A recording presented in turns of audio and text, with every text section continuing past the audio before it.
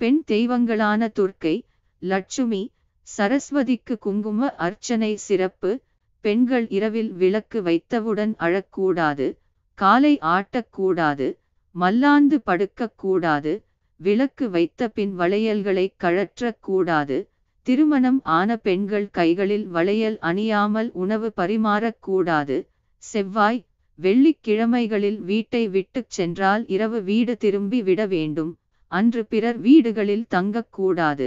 ஒற்றை ருத்திராட்சத்தை கழுத்துக் குழிக்கு மேல் கட்ட வேண்டும். கீழே இறங்கக்கூடாது. ருத்திராட்சம் துளசி மணிம் ஆபடிகம் போன்ற மாலைகளை ஜபம் பூஜை ஜோமம் போன்ற காலங்களைத் தவிர மற்ற நேரங்களில் அணியக்கூடாது. கோவிலுக்கு செல்லும் போதும் பூஜை செய்யும் போதும் பெண்கள் முடியை தொங்கவிடாமல் நுனி முடிச்சுப் போட வேண்டும்.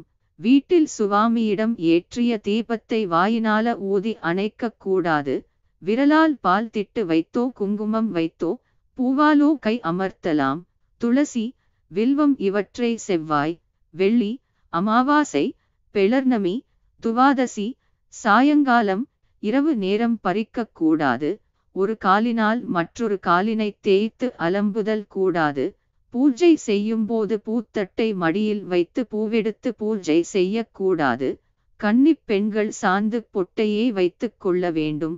திருமணம் ஆன பெண்கள் தான் குங்குமப் பொட்டு வைத்துக் கொள்ள வேண்டும்.